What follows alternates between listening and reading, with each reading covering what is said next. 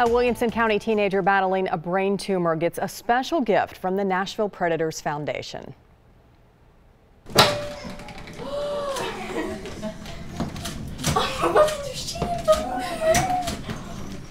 19-year-old Krystal Adams got to see her new beach-themed bedroom for the first time today. Volunteers along with the Preds wives and girlfriends and the nonprofit corporation Special Spaces teamed up to create a surprise bedroom makeover.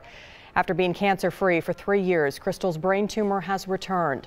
She says she is very grateful for her beautiful new room.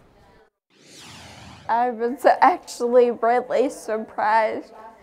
I wanted to cry and my dad hugged me and he wanted to cry too. Krystal also received a hockey stick from her favorite Preds player, Pekka Rinne.